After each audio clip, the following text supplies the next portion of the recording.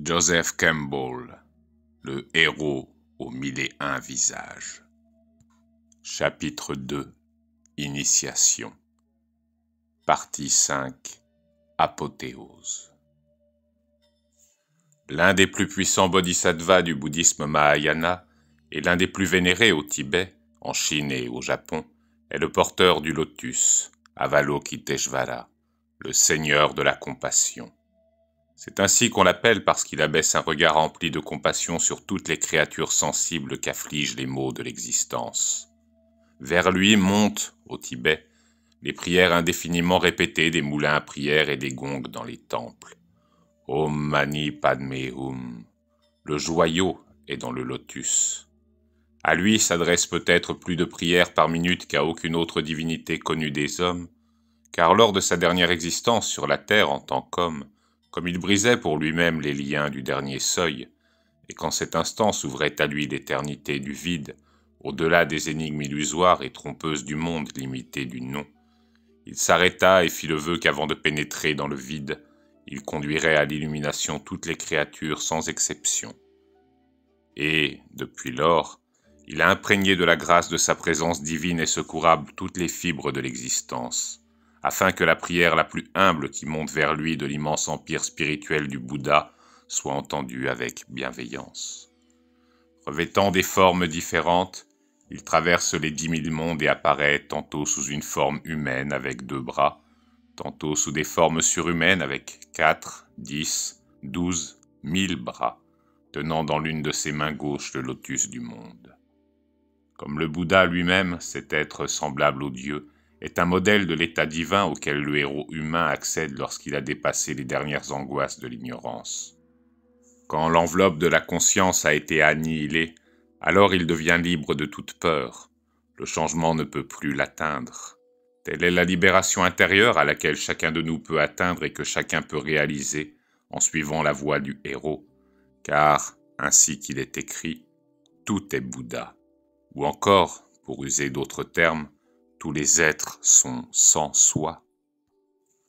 Le bouddhisme Hinayana, le bouddhisme qui survit au Sri Lanka, en Birmanie et en Thaïlande, révère dans le Bouddha le héros humain, le saint et le sage suprême. Le bouddhisme Mahayana, le bouddhisme du Nord, voit pour sa part en l'illuminé un sauveur du monde, une incarnation du principe universel de l'illumination. Un bodhisattva est un être sur le point d'atteindre l'état de Bouddha, selon la perspective du Hinayana. C'est un disciple qui deviendra Bouddha dans une réincarnation ultérieure.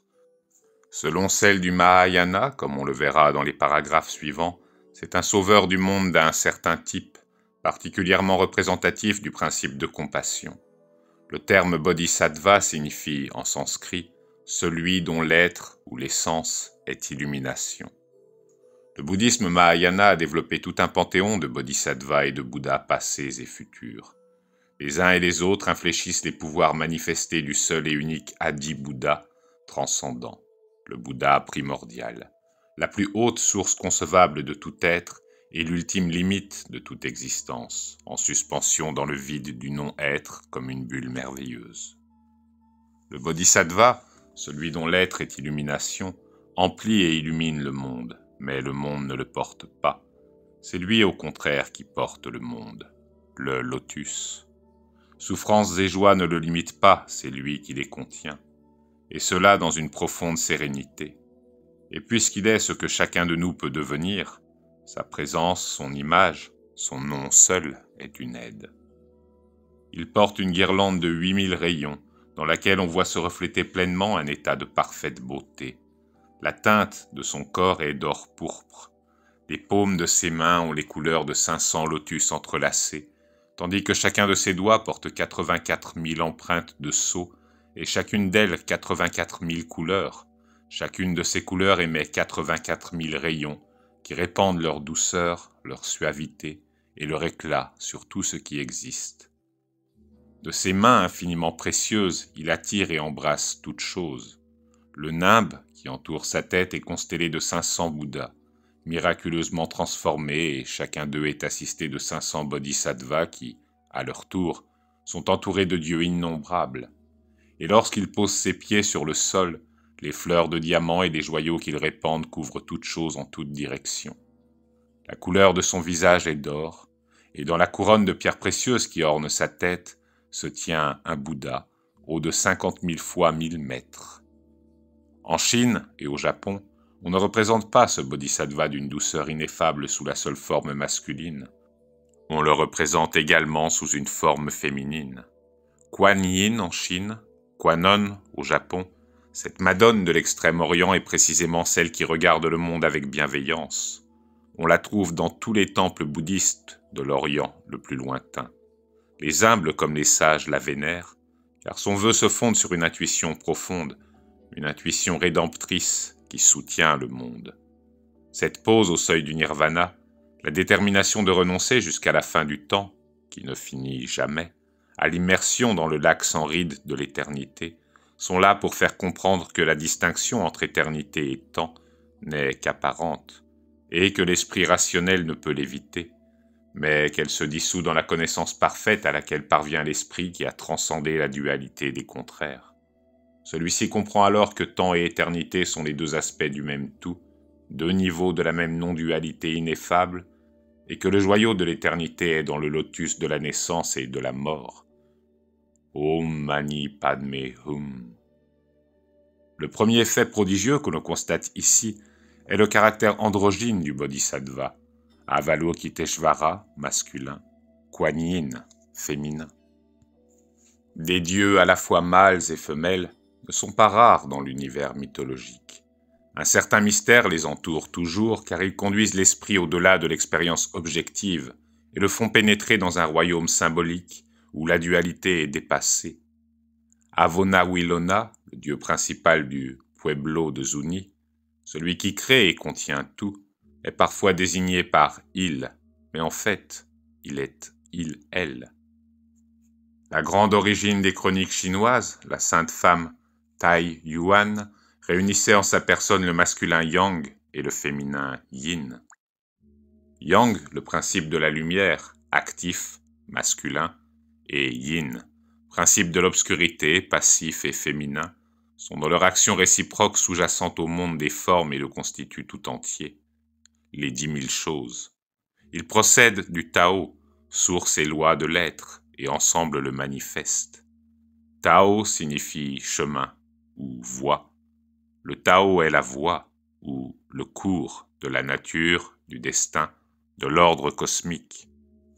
L'absolu rendu manifeste. Le Tao est donc aussi vérité, conduite droite. Le Yang et le Yin, pris ensemble en tant que Tao, sont représentés de cette manière. Le Tao est sous-jacent au cosmos. Le Tao réside en toute chose créée. Les enseignements de la Kabbale chez les Juifs du Moyen Âge, comme aussi les écrits des gnostiques chrétiens du second siècle, présentent le Verbe fait chair comme un être androgyne, ce qui en effet était l'état d'Adam lorsqu'il fut créé, avant que l'aspect féminin, Ève, n'ait reçu une forme autre. Et chez les Grecs, Hermaphrodite, l'enfant d'Hermès et d'Aphrodite, n'était pas la seule divinité à être à la fois de sexe mâle et femelle. Eros, le dieu de l'amour, le premier des dieux selon Platon, l'était également. Dieu créa donc l'homme à son image, à l'image de Dieu il le créa, il le créa mâle et femelle. On peut alors se demander de quelle nature est l'image de Dieu, mais le texte fournit aussitôt la réponse et d'une manière assez claire. Lorsque le Saint, béni soit-il, créa le premier homme, il le fit androgyne. Le passage de l'élément féminin en une forme différente symbolise le commencement de la chute de l'état de perfection dans la dualité. Elle fut tout naturellement suivie de la découverte de la dualité du bien et du mal, de l'exil du jardin où Dieu se promène sur la terre, puis de l'érection, par la coïncidence des opposés, du mur du paradis qui prive l'homme, maintenant homme et femme, non seulement de la vision de l'image de Dieu, mais de son souvenir même. Telle est la version que nous donne la Bible de ce mythe connu de bien des peuples. C'est l'une des formes fondamentales dont usent les récits mythologiques pour symboliser le mystère de la création. Le passage de l'éternité dans le temps, l'éclatement de l'un en deux, puis en multitude, et, par cela même, la génération d'une vie nouvelle dans la reconjonction des deux. Cette image est au commencement du cycle cosmogonique et se trouve aussi à sa juste place au terme de la tâche du héros, dans l'instant où disparaît le mur du paradis, où la forme divine est découverte et reconnue, et la sagesse retrouvée. Tirésias, l'aveugle devin, était à la fois mâle et femelle. Ses yeux étaient fermés au monde de la lumière et à ses formes divisées en couples d'opposés. Mais du fond de ses ténèbres intérieures, il lut le destin d'Oedipe. Shiva apparaît uni en un seul corps à Shakti, son épouse. Il est le côté droit, elle le côté gauche, dans la manifestation qu'on appelle Ardhanarisvara, le seigneur demi-femme. Les ancêtres de certaines tribus africaines et mélanésiennes sont parfois représentés sous les traits d'un être unique ayant les mains de la mère et la barbe et le pénis du père. En Australie, un an environ après l'épreuve de la circoncision, le candidat à l'état d'homme achevé subit une seconde opération rituelle, celle de la subincision, incision pratiquée sous le pénis pour former une ouverture permanente dans l'urètre. Cette ouverture est appelée la matrice du pénis. C'est un vagin mâle symbolique. Le héros est devenu, grâce au cérémonial, plus qu'un homme. Le sang qui sert autant au grimage rituel qu'à fixer des plumes blanches sur le corps des jeunes garçons provient du sang que les pères australiens recueillent de ces subincisions. Ils rouvrent les anciennes entailles et les laissent saigner. Le sang symbolise à la fois le sang menstruel du vagin et la semence mâle, comme le font aussi l'urine, l'eau et le lait mâle. L'écoulement montre que les anciens possèdent en eux la source de vie et de subsistance, c'est-à-dire qu'ils ne font qu'un avec la fontaine inépuisable du monde. Lorsque l'appel de l'ancêtre serpent épouvantait l'enfant, c'est la mère qui était protection. Mais le père survint et ce fut lui le guide, l'initiateur au mystère de l'inconnu. En tant qu'intrus originel dans le paradis établi entre l'enfant et sa mère, le père est l'ennemi archétype. De là vient qu'au cours de l'existence, tout ennemi symbolise, pour l'inconscient, le père. Tout ce qui est tué devient le père. C'est là l'origine du culte que voulaient les communautés de chasseurs de têtes, en Nouvelle-Guinée par exemple, aux têtes rapportées des raids de vengeance. C'est là également l'origine de cette irrésistible compulsion à faire la guerre. L'impulsion individuelle à détruire le père se transforme continuellement en violence collective. Les anciens de la communauté immédiate ou les ancêtres de la race directe se protègent de leurs fils grandissants par la magie psychologique des rites totémiques. Ils jouent le rôle du père ogre, puis se révèlent être aussi la mère nourricière. Ainsi s'établit un paradis nouveau et plus vaste. Mais ce paradis n'inclut pas les tribus ou les races traditionnellement ennemies contre lesquelles la charge d'agressivité est encore systématiquement projetée. Tout le contenu bon de l'entité père-mère est réservé pour ce qui est intérieur au clan, tandis que le contenu mauvais est dévolu à ce qui est au dehors, à ceux qui l'entourent. Qui est, en effet, ce Philistin incirconcis pour qu'il insulte les troupes du Dieu vivant? Ne vous ralentissez pas dans la poursuite de l'ennemi. Si vous, vous endurez des épreuves, eux aussi supportent les mêmes. Mais vous, vous avez l'espoir qui vient d'Allah, tandis qu'eux n'en ont aucun.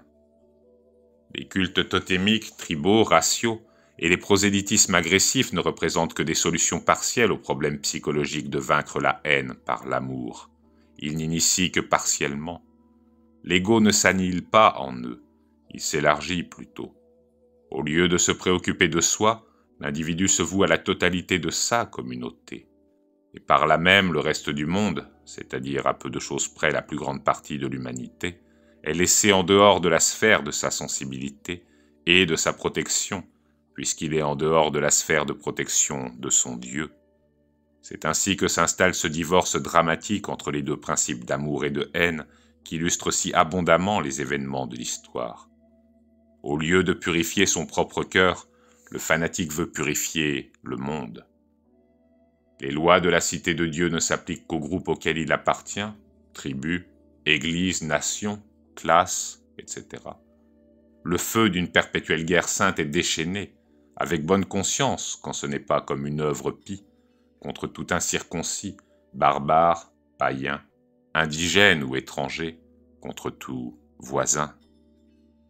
Le monde est plein des sectes rivales qui en ont résulté, adorateurs de totems, défenseurs de drapeaux, de partis. Même les nations soi-disant chrétiennes, pourtant censées marcher sur les pas d'un rédempteur universel, se sont davantage distinguées au cours de l'histoire par la barbarie de leur conquête coloniale et leur lutte d'extermination réciproque que par un signe concret de cet amour inconditionnel qui témoigne de la véritable conquête de l'ego, du monde de l'ego et du dieu tribal de l'ego, cet amour enseigné par le divin maître dont ils se réclament. Je vous le dis, Aimez vos ennemis, faites le bien à ceux qui vous haïssent. Bénissez ceux qui vous maudissent et priez pour ceux qui vous maltraitent. À qui vous frappe sur une joue, présentez encore l'autre. Et à qui vous enlève votre manteau, ne refusez pas votre tunique. Donnez à quiconque vous demande et à qui vous prend votre bien, ne le réclamez pas. Ce que vous voulez que les hommes fassent pour vous, faites-le semblablement pour eux. Car si vous aimez ceux qui vous aiment, quel gré vous en saura-t-on? Car même les pécheurs aiment ceux qui les aiment. Et si vous faites du bien à ceux qui vous en font, quel gré vous en saura-t-on? Même les pécheurs en font autant. Et si vous prêtez à ceux dont vous espérez recevoir, quel gré vous en saura-t-on? Même des pécheurs prêtent à des pécheurs pour en recevoir l'équivalent. Au contraire, aimez vos ennemis, faites du bien et prêtez sans rien attendre en retour. Votre récompense alors sera grande, et vous serez les fils du Très-Haut, car il est bon, lui, pour les ingrats et les méchants. Montrez-vous miséricordieux comme votre Père est miséricordieux. Comparé avec cette lettre écrite par un chrétien en l'an de grâce 1682, à vous, respectable et bien-aimé Mr. John Higginson, il y a en ce moment un navire en mer, la Welcome, qui porte à son bord cent ou plus de ces hérétiques et mécréants qu'on appelle Quakers. Ils ont à leur tête W. Penn, qui est le plus grand des vauriens. La Cour générale a, en conséquence, donné l'ordre sacré à Master Malachi Ruscott, du brigantin Porpoise, d'arrêter par surprise la dite Welcome, aussi près que possible du Cap Cod, et de faire prisonnier le dit Penn et sa bande de cent dieux, afin que sur le sol de cette nouvelle contrée, le Seigneur soit glorifié et non nargué par le culte païen de ces gens. On peut récolter un grand butin en vendant la cargaison tout entière à la Barbade, où les esclaves font de bons prix en rhum et en sucre. Ainsi, non seulement nous honorerons le Seigneur en punissant les méchants, mais nous honorerons également son ministre et son peuple, vôtre au sein du Christ, Cotton Matter. Une fois libérés de notre conception personnelle qui ramène des archétypes universels au niveau d'une région du monde, d'une religion, d'une nation ou d'une tribu, et des dangers qui en découlent, il devient possible de comprendre que l'initiation suprême n'est pas celle que dispensent les pères maternels vénérés à l'échelon local, et qui donc projettent sur leurs voisins la charge d'agression dont ils se défendent eux-mêmes. La bonne nouvelle annoncée par le Sauveur du monde, que tant de gens ont été heureux d'entendre, avide de prêcher, mais si peu enclin apparemment à mettre en pratique, c'est que Dieu est amour, qu'il peut et doit être aimé, et que tous, sans exception, sont ses enfants. Ces sujets relativement mineurs, que sont des détails à ajouter au credo, les modalités du culte ou l'organisation de l'appareil épiscopal, et qui ont à tel point capté l'intérêt des théologiens occidentaux qu'ils sont au centre des débats aujourd'hui comme s'ils étaient les questions essentielles de la religion, ne peuvent être que querelles byzantines s'ils ne restent pas subordonnés à l'enseignement fondamental. En fait, quand ils échappent à cette subordination, ils ont un effet régressif. Ils réduisent à nouveau l'image du Père aux dimensions du totem. C'est ce qui est advenu de toute évidence dans l'ensemble du monde chrétien. C'est à croire que nous avons été invités à décider qui d'entre nous était agréable au Père, alors qu'il est dit dans l'Évangile ne jugez pas pour n'être pas jugé. La croix du Sauveur du monde, en dépit de l'attitude de ses prêtres qualifiés, est un symbole, à beaucoup prendre, plus démocratique qu'un drapeau national. Le docteur Karl Menninger a fait remarquer que si rabbins juifs, pasteurs protestants et prêtres catholiques peuvent parfois être amenés à concilier leurs différences théoriques sur le plan général, dès qu'ils commencent à parler des règles et des principes qui mènent à la vie éternelle, leurs divergences sont sans espoir. Jusque-là, écrit le docteur Menninger, le programme est irréprochable, mais si personne n'a de certitude quant aux règles et aux ordonnances, tout n'est plus qu'absurdité. La réponse est, bien entendu, celle qu'en a donnée Ramakrishna. Dieu a fait les religions diverses pour répondre à la diversité des aspirations des hommes, des temps et des pays. Toutes les doctrines ne sont qu'autant de chemins, mais un chemin n'est en aucune façon Dieu lui-même. En vérité, on peut atteindre Dieu par l'un ou l'autre de ces chemins, si l'on y met toute la dévotion de son cœur. Que l'on mange un gâteau tout droit ou par le côté, qu'importe, il aura toujours goût de sucre.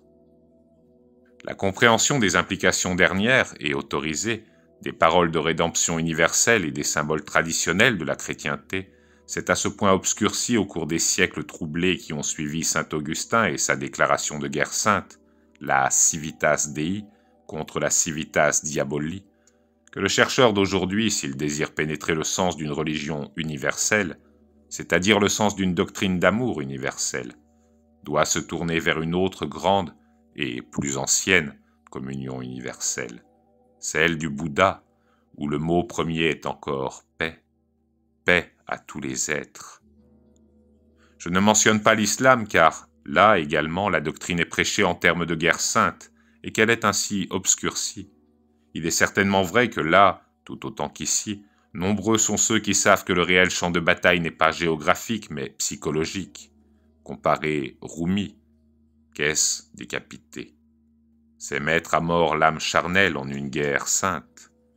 Quoi qu'il en soit, chez les musulmans comme chez les chrétiens, la doctrine s'est exprimée dans le peuple et dans l'orthodoxie d'une manière si intransigeante qu'une étude très attentive est nécessaire pour discerner, dans l'une comme dans l'autre, l'action de l'amour. Les vers tibétains suivants, par exemple, extraits de deux hymnes du saint poète Milarepa, ont été composés à peu près à l'époque où le pape Urbain II prêchait la première croisade. Parmi la cité de l'illusion des six plans de l'univers, le grand facteur est le péché et l'obscurcissement né des œuvres mauvaises. Là, l'être suit ce que dictent plaisirs et déplaisirs, et ne trouve jamais le temps de connaître l'égalité. Évite, ô mon fils, plaisir et déplaisir.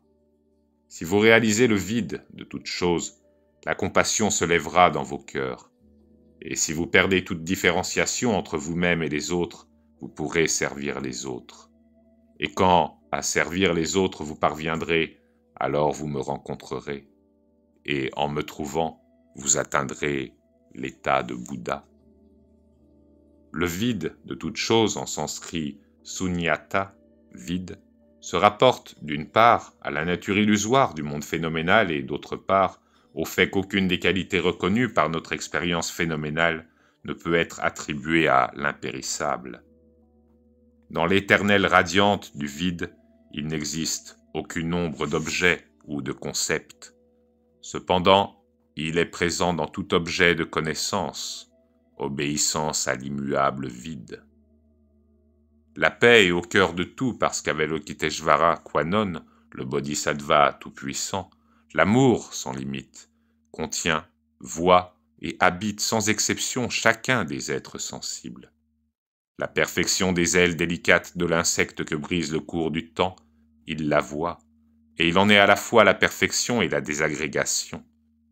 L'angoisse perpétuelle de l'homme, victime de ses illusions, auteur de ses propres souffrances, pris dans les raies ténues de son délire, frustré, encore que recelant en lui, ignoré, absolument inutilisé, le secret de sa délivrance, cela aussi il le voit et il l'est.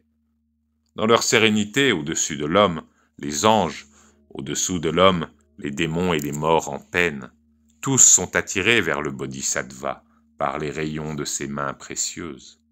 Ils sont lui, il est eux. Centre de conscience limité, prisonnier, myriade de myriades, sur chaque plan d'existence, pas seulement dans ce présent univers que borne la voie lactée, mais par-delà, dans les étendues de l'espace, galaxie après galaxie, monde par-delà le monde des univers, naissant de l'océan éternel du vide, éclatant à la vie et, comme une bulle, s'évanouissant aussitôt.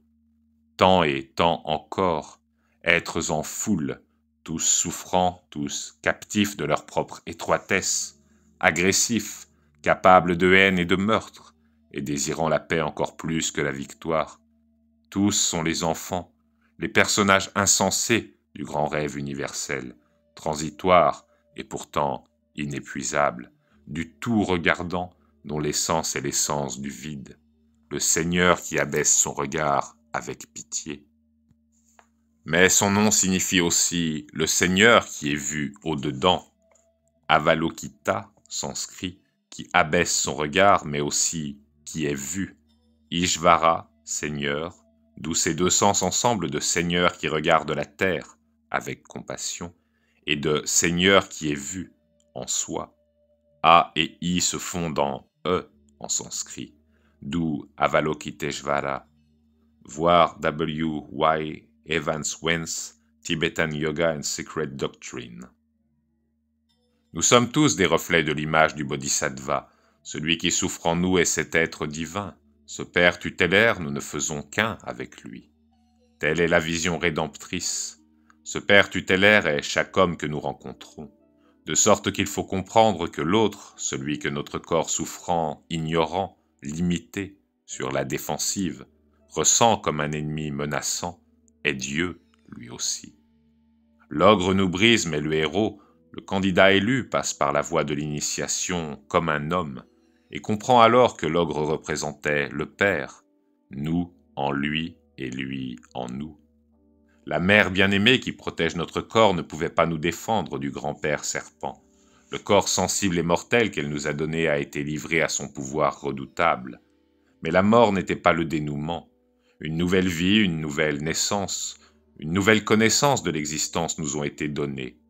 Dès lors, nous ne vivons plus sur le seul plan physique, mais dans tous les corps, à toutes les échelles du monde, comme le Bodhisattva. Le Père était lui-même la matrice, la mère d'une seconde naissance. Telle est la signification de l'image du Dieu bisexué. Il représente le mystère du thème initiatique. Nous sommes arrachés à la mer, mis en pièces et assimilés au corps de l'ogre dévorateur du monde, pour qui tous les êtres et toutes les formes précieuses ne sont que les mets d'un festin. C'est alors que renaissant miraculeusement, nous sommes davantage que nous n'étions. Si ce Dieu est un archétype, émanation d'une tribu, d'une race, d'une nation ou d'une secte, nous sommes les guerriers voués à sa cause. Mais si ce Dieu est le Seigneur de l'univers tout entier, nous devenons ceux qui savent, ceux pour qui tous les hommes sont frères. Dans l'un et l'autre cas, les images parentales de l'enfance et les notions du bien et du mal ont été dépassées. Nous cessons de désirer et de craindre. Nous sommes ce qui était craint et ce qui était désiré. Tous les dieux, Bodhisattva ou Bouddha, ont été réunis en nous, comme ils le sont dans le nimbe de celui qui porte le lotus du monde.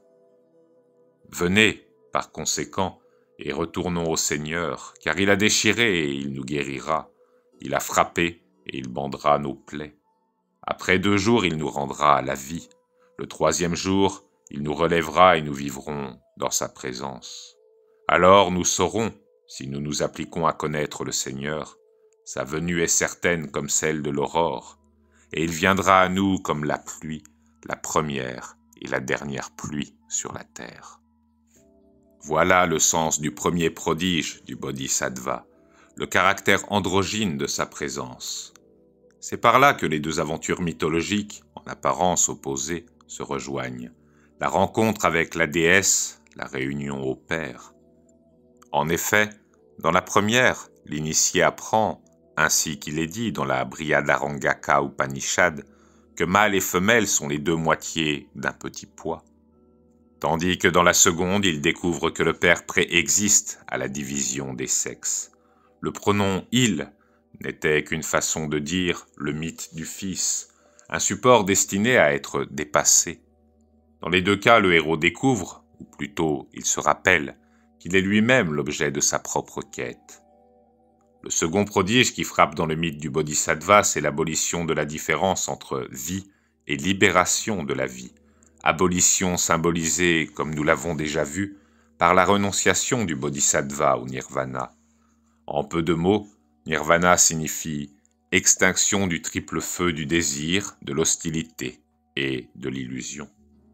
Ainsi que le lecteur s'en souvient, dans la légende de la tentation sous l'arbre beau, Supra, page 37-38, du futur Bouddha, l'antagoniste était Kamamara, littéralement désir, hostilité ou amour et mort, le magicien de l'illusion.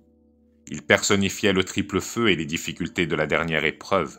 Il était le gardien du dernier seuil que le héros universel doit franchir dans la suprême aventure vers le nirvana.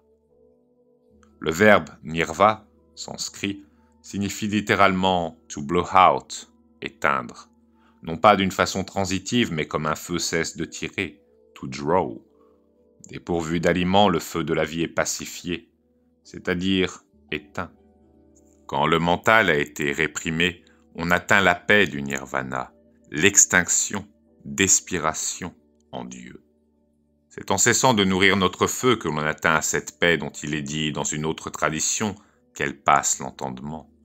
Le mot déspiration, extinction, est une combinaison d'une latinisation littérale du sanskrit nirvana, nir, hors, en avant, au dehors, en dehors, hors de, loin de, vana, souffler, nirvana, expulsé, sorti, éteint. Étant parvenu à éteindre en lui jusqu'au point critique de la dernière étincelle le triple feu qui meut l'univers, le Sauveur vit se projeter, réfléchit comme dans un miroir l'environnant, les derniers fantasmes provenant de son impulsion physique primitive de vivre comme les autres hommes, de vivre selon les motivations habituelles de désir et d'agressivité, dans l'ambiance illusoire des causes, des fins et des moyens phénoménaux. Il dut affronter les furieux derniers assauts de la chair méprisée. Tout dépendit alors de cet instant, car d'une seule étincelle tout le brasier pouvait renaître. Cette légende si largement répandue offre un excellent exemple des relations étroites que l'Orient a maintenues entre le mythe, la psychologie et la métaphysique. Les personnages vivants préparent l'intellect à la doctrine de l'interdépendance des mondes intérieurs et extérieurs. Le lecteur n'a pu manquer d'être frappé par une certaine ressemblance entre la théorie de la dynamique de la psyché des anciens mythes et les conclusions de l'école freudienne moderne. Selon cette dernière, la pulsion de vie Eros ou libido, correspondant au karma des bouddhistes, et la pulsion de mort, Thanatos ou Destrudo, identique à leur Mara, hostilité ou mort, sont les deux courants qui non seulement animent le monde intérieur propre à chacun, mais pour chacun meuvent le monde qui l'entoure. De plus, les illusions qui se sont inconsciemment constituées et à partir desquelles se lèvent désir et agressivité se dissipent dans les deux méthodes par l'analyse psychologique, en sanskrit viveka, et l'illumination, en sanskrit vidya. Toutefois, les deux enseignements, l'enseignement moderne et l'enseignement traditionnel, ne poursuivent pas exactement le même but. La psychanalyse est une technique pour guérir ceux chez qui des désirs et des agressivités, inconsciemment déviés, provoque une souffrance excessive en les enfermant dans un monde de terreur irréelle et d'attraction ambivalente qui leur est propre. Le malade qui s'en est affranchi est mieux armé pour affronter des peurs et des agressions plus réalistes, et pour participer à tout ce qui occupe la société dans laquelle il vit, vie sexuelle, religion, guerre, affaires, loisirs, famille. Mais à celui qui a délibérément entrepris la difficile et dangereuse aventure au-delà du clocher de son village, ces préoccupations aussi doivent apparaître comme fondées sur l'illusion. Le but de l'enseignement religieux n'est donc pas de guérir l'individu pour qu'il retourne à l'illusion commune, mais bien de l'en détacher tout à fait. Et ceci non pas en réajustant désir, éros et hostilité, thanatos, ce qui ne créerait à nouveau que matière à illusion, mais en éteignant les tendances à la racine même, selon la méthode du célèbre octuple sentier bouddhiste. Croyance juste, volonté juste, parole juste, conduite juste, moyen d'existence juste, application juste, mémoire juste, concentration juste. Quand illusion, désir et hostilité sont définitivement extirpés, nirvana, L'esprit sait qu'il n'est pas ce qu'il pensait. La pensée passe. L'esprit demeure dans son état véritable, et ainsi peut-il demeurer jusqu'à ce que le corps disparaisse. Étoile, ténèbres, une lampe, un fantôme, rosée, une bulle, un songe, une lueur d'éclair et un nuage. Ainsi devrions-nous considérer tout ce qui a été fait. Le bodhisattva n'en abandonne pas pour autant la vie, se détournant de la sphère intérieure de la vérité qui transcende la pensée et que l'on ne peut décrire que comme une vacuité, puisqu'elle est au-delà des mots, pour porter son regard à nouveau sur le monde phénoménal, il perçoit hors d'elle le même océan d'être qu'il avait trouvé en elle. La forme est le vide et le vide, en fait, la forme. La forme ne diffère pas du vide. Ce qui est forme est vide. Ce qui est le vide, là est la forme. Et il en va de même pour la perception, le nom, les concepts et le savoir. Ayant dépassé les illusions de son ego plein d'assurance, toujours sur la défensive et préoccupé de lui-même, il connaît en dedans et au dehors la même paix. Ce qu'il perçoit au dehors, c'est le reflet de cette suprême vacuité qui transcende la pensée et qui sert de support à son expérimentation de l'ego, des formes, des perceptions, de la parole, des concepts, du savoir. Et il est empli de compassion pour les êtres qui ont peur d'eux-mêmes et qui vivent dans la terreur de leur cauchemar personnel. Il se lève, retourne à eux, demeure en eux, en tant que centre sans égo au moyen duquel le principe de vacuité est rendu manifeste dans toute sa simplicité. Et cela constitue son acte de compassion suprême, car, à travers cet acte, cette vérité est révélée. Dans la compréhension de celui qui a maîtrisé le triple feu du désir, de l'hostilité et de l'illusion, ce monde-ci est nirvana. Des vagues de mérite jaillissent de lui pour notre libération à tous. Ainsi notre vie dans le monde est une activité du nirvana. Il n'y a pas entre les deux la plus légère distinction. Il est donc possible d'avancer que, finalement, l'objectif de la thérapeutique moderne, le retour à la vie normale, est atteint dans les anciennes disciplines religieuses, à ceci près que le périple accompli par le bodhisattva est un vaste cercle, et que la séparation avec le monde n'y est pas considérée comme une faute, mais comme le premier pas sur la noble sentier qui doit mener, en définitive, à l'illumination de la vacuité insondable de la ronde universelle. Un tel idéal est bien connu de l'hindouisme également, le libéré vivant, Jivan Mukta, sans désir, compatissant et sage, celui dont le cœur est concentré par le yoga, contemplant toute chose d'un regard égal, se tient dans toutes les créatures et toutes les créatures en lui. De quelque manière qu'il oriente sa vie, celui-là vit en Dieu. On raconte qu'un disciple de Confucius suppliait Bodhidharma, le 28e patriarche bouddhiste, de pacifier son âme. Le patriarche répondit Montre-la moi, et je la pacifierai. Le confucianiste dit C'est bien là mon mal, je ne puis la trouver. Bodhidharma répondit Ton désir est exaucé. Le confucianiste comprit et s'en retourna en paix ceux qui savent non seulement que l'Éternel vit en eux, mais que ce qu'ils sont réellement, eux et toutes choses, est l'Éternel, habitent des jardins où croissent ces arbres qui accomplissent les souhaits, boivent le breuvage d'immortalité et entendent partout la musique inouïe de l'éternelle harmonie. Ce sont les immortels. Les paysages taoïstes de la peinture chinoise et japonaise rendent parfaitement la félicité céleste de cet état terrestre. Les quatre animaux bénéfiques, le phénix, la licorne, la tortue et le dragon habitent des jardins plantés de saules, de bambous et de pruniers, parmi les brumes des montagnes saintes, proches des sphères vénérées. Des sages au corps parcheminé, mais à l'esprit éternellement jeune, méditent sur ces sommets, où chevauchent d'étranges animaux symboliques au-dessus des espaces infinis, ou devisent subtilement en prenant le thé aux accents de la flûte de Lansai Ho. La maîtresse de ce paradis terrestre qu'habitent les immortels chinois est la déesse fée Si Wang Mu, la mère d'or de la tortue. Elle habite un palais sur la montagne Kunlun, entourée d'un rempart de joyaux, de fleurs parfumées, et le mur du jardin est d'or. C'est le mur du paradis. Voir Soupra, page 80, 81 et 127. Nous sommes maintenant à l'intérieur du paradis. Si Wang Mu est l'aspect féminin du Seigneur qui se promène dans le jardin d'Éden et créa l'homme à son image, mâle et femelle. Genèse 1, 27. Elle est formée de la pure quintessence de l'air de l'Ouest.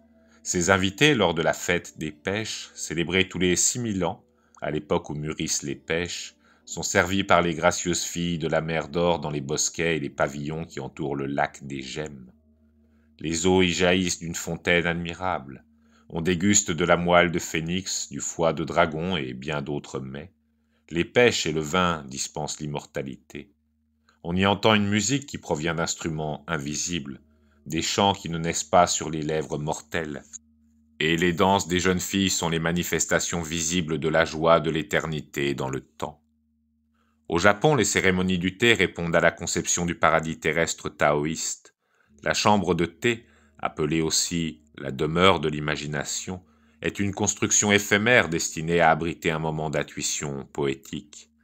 Appelée encore la demeure de la vacance, elle est dépourvue d'ornements. Pour la circonstance, elle est décorée d'un arrangement floral unique ou seulement d'un tableau. La maison de thé est appelée la demeure de la symétrie. La symétrie suggère le mouvement, l'inachevé à dessein laisse un vide dans lequel l'imagination de celui qui contemple peut se déverser. L'hôte avance par l'allée du jardin et doit se baisser pour franchir l'entrée basse. Il s'incline devant le tableau ou le bouquet, devant la bouilloire qui chante et prend place sur le sol. Le plus modeste objet, rehaussé par la simplicité voulue de la maison de thé, y apparaît auréolé d'une beauté mystérieuse, et son silence détient le secret de l'existence temporelle. Chaque hôte a le loisir d'approfondir l'expérience en relation avec lui-même. Les personnes présentes contemplent ainsi l'univers en miniature et leur secrète communion avec les immortels leur est rendue perceptible. Pour les grands maîtres du thé, il s'agissait d'expérimenter le mystère divin. Puis de la maison de thé, l'influence parvenait à la maison d'habitation et de là à toute la nation. Durant la longue et pacifique période Tokugawa, 1603-1868, avant le débarquement du Commodore Perry en 1854, la texture de la vie japonaise était si imprégnée par les rites que l'existence, jusqu'en son moindre détail, était une expression consciente de l'éternité, et le paysage un sanctuaire. De même, dans tout l'Orient et partout dans le Vieux Monde et dans l'Amérique précolombienne, la société et la nature étaient l'image de l'inexprimable. Les plantes, les rochers, le feu, l'eau, tous sont vivants. Ils nous observent et voient nos besoins. Ils voient quand plus rien ne nous protège déclarait un vieux conteur apache. Et c'est alors qu'il se révèle en nous parlant. C'est ce que le bouddhisme appelle le sermon de l'inanimé. Un ascète hindou s'étant un jour étendu pour se reposer au bord du Gange sacré, posa ses pieds sur un symbole de Shiva, un lingam, représentation combinée du phallus et de la vulve, symbole de l'union du Dieu et de son épouse. Un prêtre qui passait aperçut l'homme ainsi étendu et le blâma. Comment oses-tu profaner ce symbole de Dieu en y posant tes pieds? demanda le prêtre. L'ascète répondit Pardon, je regrette. Auriez-vous la bonté de soulever mes pieds et de les poser là où il n'y a aucun lingam sacré? Le prêtre, saisissant les pieds de l'ascète, les déplaça vers la droite, mais à l'instant où il les posait, un phallus jaillit du sol sous les pieds de l'ascète.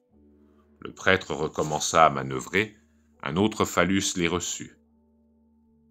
Maintenant je comprends, dit le prêtre avec humilité. Puis il rendit hommage au sein étendu et passa son chemin. Le troisième prodige du mythe du Bodhisattva est que le premier prodige, à savoir la forme bisexuée, est symbolique du second, l'identité de l'éternité et du temps. Car traduit en image divine, le monde du temps devient la grand-mère matricielle où la vie, engendrée par le Père, est constituée de son obscurité à elle et de sa lumière à lui. Nous sommes conçus en elle et demeurons séparés du Père. Mais lorsque nous passons de la matrice du temps à la mort, qui est notre naissance à l'éternité, nous sommes remis entre ses mains. Les sages comprennent que, même à l'intérieur de cette matrice, ils proviennent du Père et retournent à lui. Et les sages suprêmes savent qu'elle et lui, en substance, ne sont qu'un. Telle est la signification de ces images tibétaines qui représentent l'union du Bouddha et des bodhisattvas, et de leurs compléments féminins, et qui ont paru si indécentes à beaucoup d'observateurs chrétiens. Selon l'une des voies traditionnelles d'envisager ces supports de la méditation, la forme femelle en tibétain yum doit être prise pour le temps et la forme mâle yab pour l'éternité. L'union des deux engendre le monde où toutes les choses sont à la fois temporelles et éternelles, créées à l'image de ce Dieu mâle-femelle se connaissant lui-même. L'initié par la méditation est conduit à rappeler en lui-même cette forme des formes, yabium. D'autre part, on peut considérer que la forme mâle symbolise le principe d'initiation, la méthode, auquel cas la forme femelle indique le but auquel mène l'initiation. Mais ce but est nirvana, éternité. Et c'est pour cette raison que le principe mâle et le principe femelle doivent être perçus tour à tour comme temps et comme éternité. C'est-à-dire que chacun est l'autre, les deux sont en chacun, et la dualité, yabium, n'est qu'un effet de l'illusion qui cependant ne diffère pas en soi de l'illumination. Par comparaison, la déesse hindoue Kali est représentée en tant que son épouse, debout sur la forme prostrée du dieu Shiva. Elle brandit l'épée de mort, c'est-à-dire la discipline spirituelle. La tête humaine qui dégoûte de sang dit au dévot que celui qui perd sa vie pour elle la gagne. Les gestes de rassurer et de dispenser des bienfaits enseignent qu'elle est la protectrice de ses enfants, que les couples d'opposés de l'angoisse universelle ne sont pas ce qu'ils paraissent, et que, pour celui qui se centre dans l'éternité, la fantasmagorie du bien et du mal temporel n'est qu'un reflet du mental, comme l'est la déesse elle-même qui, bien qu'elle apparaisse foulant aux pieds le Dieu, est en fait son rêve bienheureux. Au-dessous de la déesse de l'île aux joyaux, deux aspects du Dieu sont représentés. L'un, le visage tourné vers le haut, en union avec elle, est l'aspect créateur qui prend plaisir au monde mais l'autre, dont le visage se détourne d'elle, est le Deus absconditus, l'essence divine en et par soi-même, au-delà de l'événement et du changement, inactif, endormi, assoupi, vide, au-delà même du mystère prodigieux de l'hermaphroditisme.